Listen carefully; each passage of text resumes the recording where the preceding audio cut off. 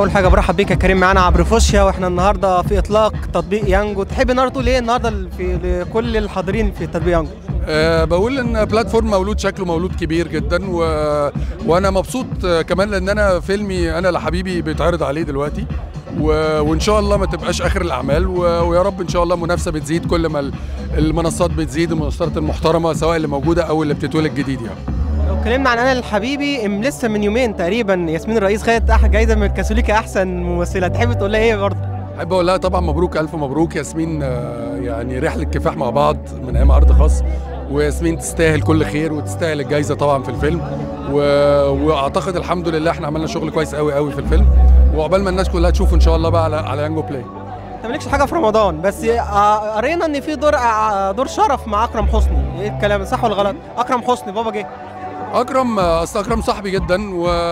وإحنا يعني لما بن... يعني بيطلبني أو أطلبه أو أي أحمد أو شيكو أو هشام كضيف شرف آه، في مشهد أو حاجة إحنا ده موضوع يعني مش مش كبير يعني إحنا سهل بالنسبة لنا. وما عنديش حاجة في رمضان عندي بعد رمضان إن شاء الله مسلسل وفيلم وقول يا رب بإذن الله. عشان نعرف تفاصيلهم بقى.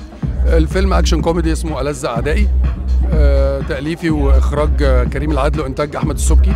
وفي أبطال طبعا كتير بس لسه يعني ما اتفقناش بشكل نهائي. والمسلسل آه، إخراج كريم العدل وتأليف محمود زهران و وبطولتي ومفروض صبا مبارك وإنتاج الأستاذ صادق الصباح وأنور صادق الصباح.